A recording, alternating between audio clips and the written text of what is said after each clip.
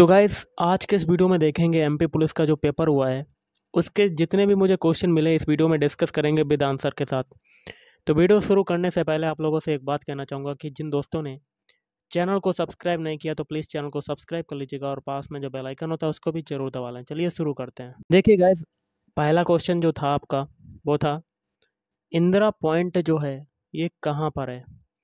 तो इंदिरा पॉइंट की अगर बात करते हैं तो ये है निकोबार द्वीप।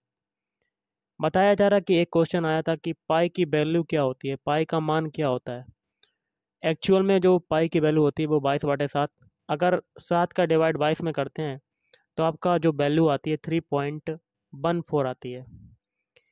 एक क्वेश्चन आया था जिप्सम का जो रासायनिक सूत्र होता है केमिकल फार्मूला होता है, वो क्या होता है?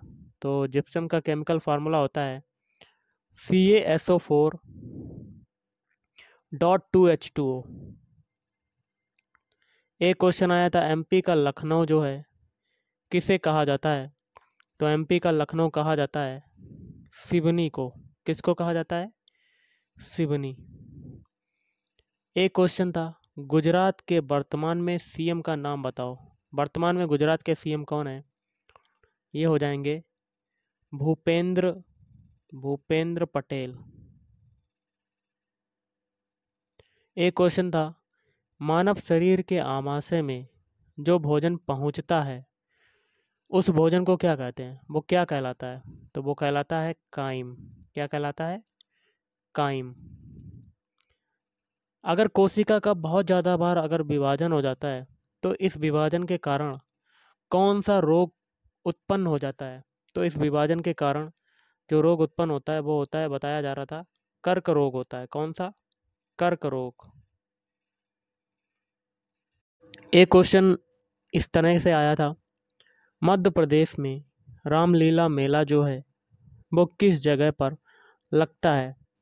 तो मध्य प्रदेश के ग्वालियर ज़िले में लगता है रामलीला का मेला।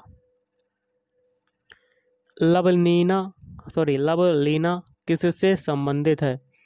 तो मुक्केबाजी या कह सकते हैं बॉक्सिंग से संबंधित है बॉक्सिंग एक क्वेश्चन था, भोपाल का संस्थापक कौन है? तो भोपाल का संस्थापक की बात करते हैं तो वो हो जाएगा मोहम्मद खान।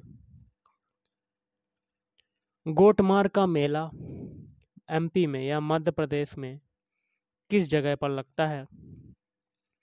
तो इसका आंसर हो जाएगा छिंदबाड़ा क्या हो जाएगा? छिंदबाड़ा एक क्वेश्चन था, नवग्रह का मेला एमपी में या मध्य प्रदेश में कहाँ पर लगता है? तो नवग्रह का मेला लगता है खरगोन में। कहाँ लगता है? खरगोन। एमपी में मध्य प्रदेश में नर्मदा नदी का जो नाभि कुंड है, ये कहाँ पर है? तो ये हो जाएगा नेमावर नेमावर। अगला क्वेश्चन है माहिल नदी की टोटल लेंथ या कुल लंबाई कितनी है? तो ये हो जाएगी पाँच सौ तिरासी किलोमीटर। एक क्वेश्चन है, होसंग शाह का मकबरा मध्य प्रदेश में कहाँ लगता है? तो होसंग शाह का मकबरा कहाँ पर है? तो मध्य प्रदेश के मांडू में है। एक क्वेश्चन है विटामिन बी की डिस्कवरी किसने की? खोज किसने की? तो विटामिन बी की खोज की थी। मैकुलन ने। एक क्वेश्चन है, भारत का सबसे ऊँचा जलप्रपात कौन सा है, उसका नाम बताइए। तो ये हो जाएगा कुंची कल कार्बन का सबसे शुद्धतम अपर रूप कौन सा होता है? तो कार्बन का सबसे शुद्धतम अपर रूप है, हीरा या कह सकते हैं डायमंड। एक क्वेश्चन आया था, मध्य प्रदेश का सबसे बड़ा बाँध कौन सा है? तो ये हो जाएगा बारगी बाँध। अगला क्वेश्चन है, मालवा से स्वतंत्र मुस्लिम शासक का क्या नाम है? तो ये हो जाएगा, दिलावर खान गोरी।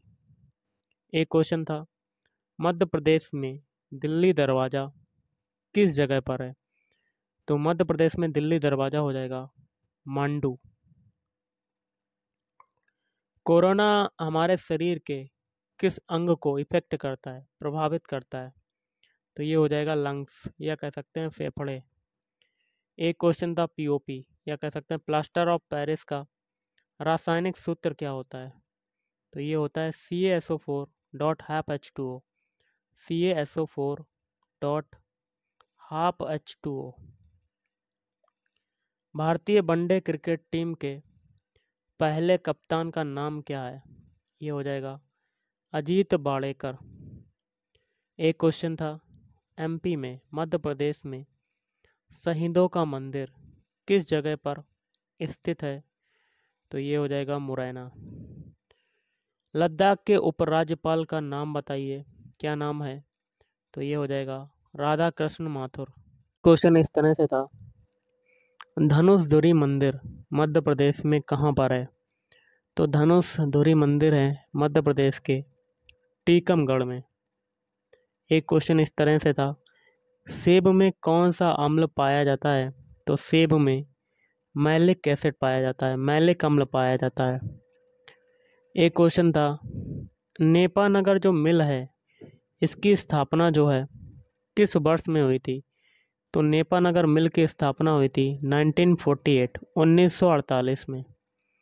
और आज का लास्ट है, बेकिंग सोडा का रासायनिक सूत्र क्या होता है? तो ये होता है N H C O three तो गाइस आज के इस वीडियो में इतना ही। अगर आपको वीडियो पसंद आए, वीडियो को लाइक करें शेयर करें और चैनल को भी सब्सक्राइब करें। Thank you